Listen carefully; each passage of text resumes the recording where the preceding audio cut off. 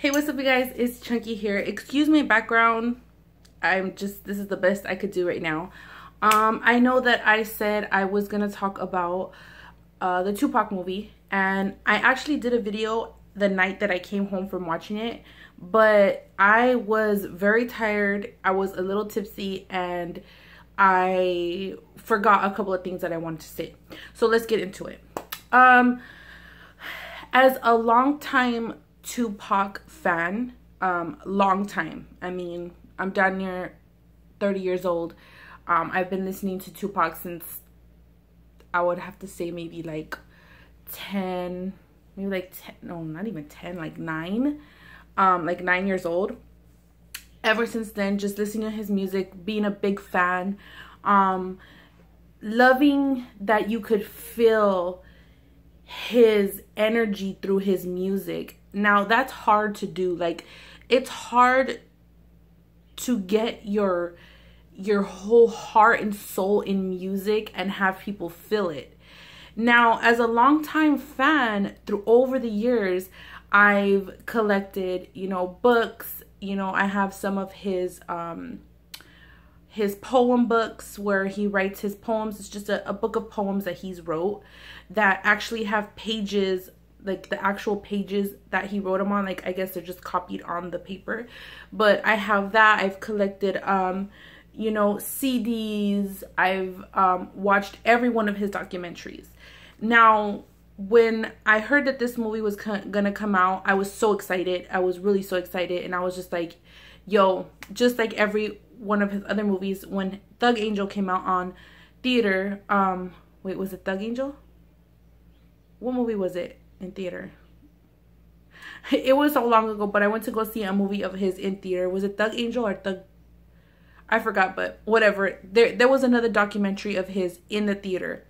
And I went to go see it when I was younger. And I mean, like, I'm not like, I'm like, you know, there's some people that fucking go hard for Tupac. Like, you know, they're just obsessed. You know, I'm a fan. I love his music. I go hard for his music. But I'm not like, oh my God, crazy. Like, this day he did this, day he did that. No, I, I I'm just you know an avid listener, and I love him. Um, but I went to go see one of his movies back when I was younger. I remember I had to go with an adult because I wasn't old enough. And I went and it was just, it touched my heart. That documentary, I'll put right here what documentary it was. Um, but it was just, it was like, it was amazing. It was amazing. And I was like, damn, this documentary was amazing when I want to go see it in theater. I know that they're going to do a good jo job with this video. With this movie, I mean. So when I went to go see it, um, first of all, I seen I seen it at the AMC Theater in Montebello. Um, I was not happy with, I don't know if there was, if, if it was their sound or what it was, but it wasn't loud enough. Like I didn't feel the music bump. Like I wanted to feel the music in my soul. Like when I went to this other theater back when I was younger and I seen his documentary in the movie theater, it was like his music was like boom, boom, boom. Like you could hear it in your soul, you could feel it in your soul. And like it was just so loud. This theater, I mean, you could hear people talking, people mumbling, people having conversations amongst themselves, and that was already like irritating me. But I was just like, you know what, like, uh, I'm just over it. I'm just gonna. I was already tired. I'm like, just whatever just watch it so i just made myself watch it and even though i was irritated the fact that it wasn't loud enough the music wasn't bumping enough like i wanted the music to be like mm, fresh out of jail california dreaming uh, mm, mm, mm. like i wanted to hear it but i mean i wanted to like feel it not even just hear it i wanted to like feel it wasn't feeling how loud the music was i don't know if it was just in the movie or if it was movie theater i don't know about that but throughout the whole movie, I just wanted more. And as the movie started to come to an end, I started to realize that everything in the movie was everything I already knew. And everything that I seen that was about to happen, I knew what was going to happen.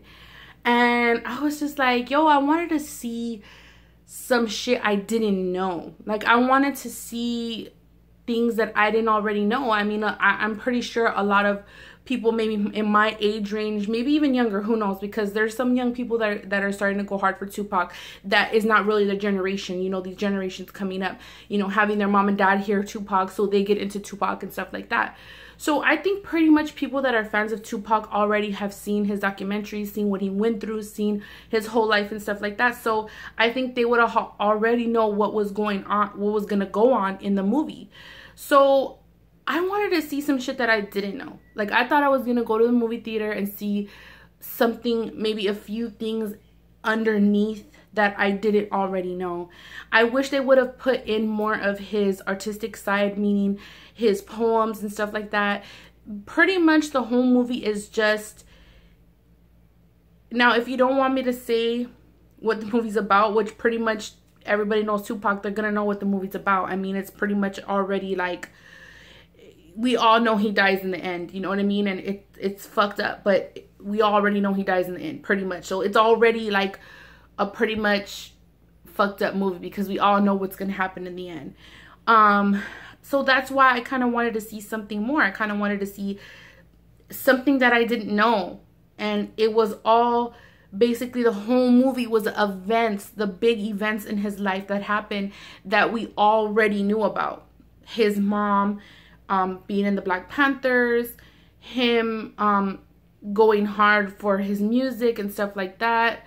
Um you know um what else? His mom being on drugs. Then the major events where he got with underground and um he got with uh death row and then he went to jail and it's him talking through whole time through the jail and stuff like that.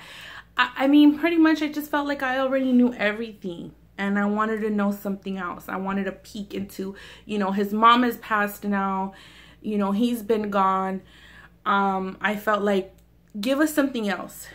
Give us something that we didn't know. I didn't get that. Um, also, I do feel like it was a little bit empty because the movie was a little bit empty. It, it wasn't so much like um, to compare it to Straight Out of Compton because I know a lot of people are going to compare it to Straight Out of Compton. If it was compared to Straight Out of Compton, um, I feel like Straight Out of Compton, I seen so much shit that I didn't know that I really didn't know about things. And it was just it was really cool the way they the whole thing it was just like really like action packed and I felt like it was more like that because a lot of people that went through it were still alive. And I feel like the Tupac movie All Eyes on Me was kind of empty because I feel like it did it didn't have that that's something that someone could put on it like his mom or somebody like oh, I don't like that part, put this part in.